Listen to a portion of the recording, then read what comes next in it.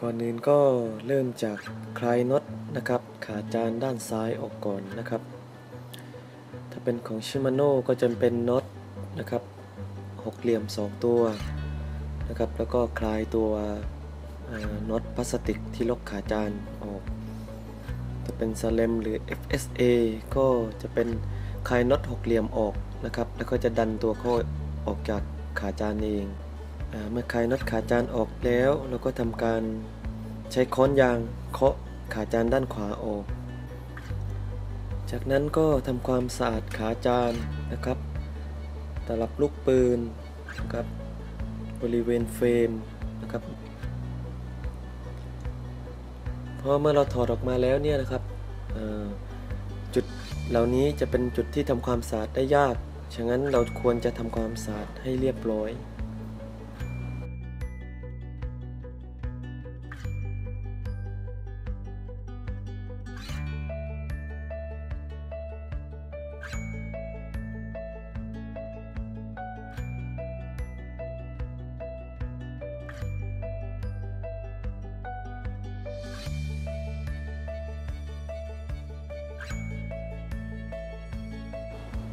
แล้วก็เมื่อเราทำความสะอาด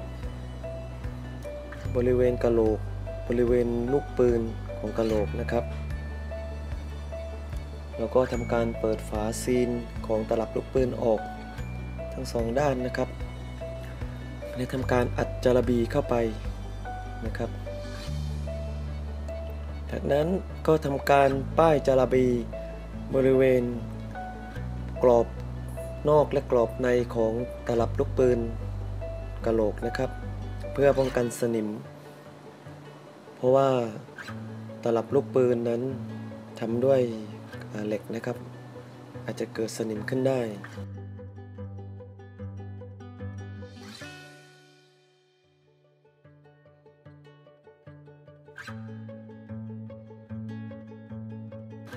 เมื่อทำการอัดจาระบีเรียบร้อยแล้ว เราก็ทำการประกอบกลับเข้าไปนะครับ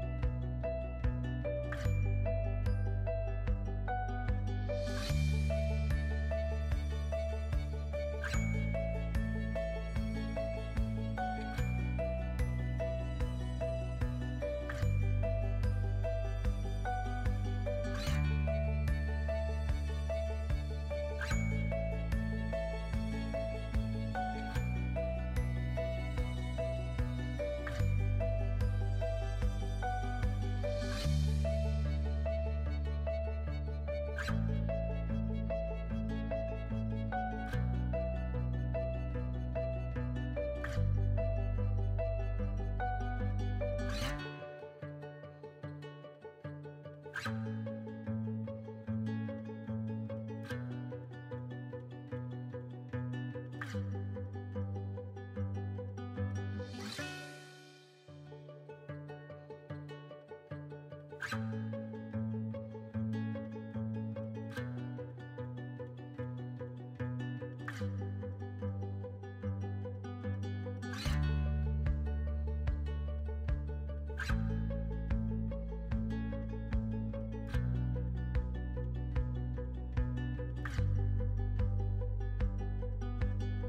เมื่อทำความสะอาดเรียบร้อยแล้วนะครับ เราก็ทำการประกอบตลับลูกปืนหรือว่ากระโหลกกลับเข้าไปนะครับ แล้วก็ประกอบขาจานกลับเข้าไปแล้วก็ขันน็อตที่ด้านซ้ายของขาจานเข้าไปนะครับ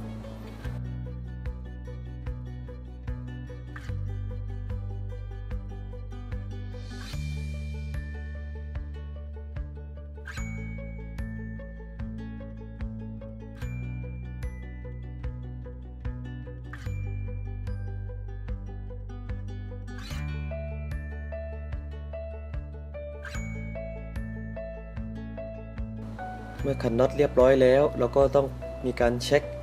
ในขั้นตอนสุดท้ายว่าขาจานเราเนี่ยครับหมุนได้ดีนะครับลื่น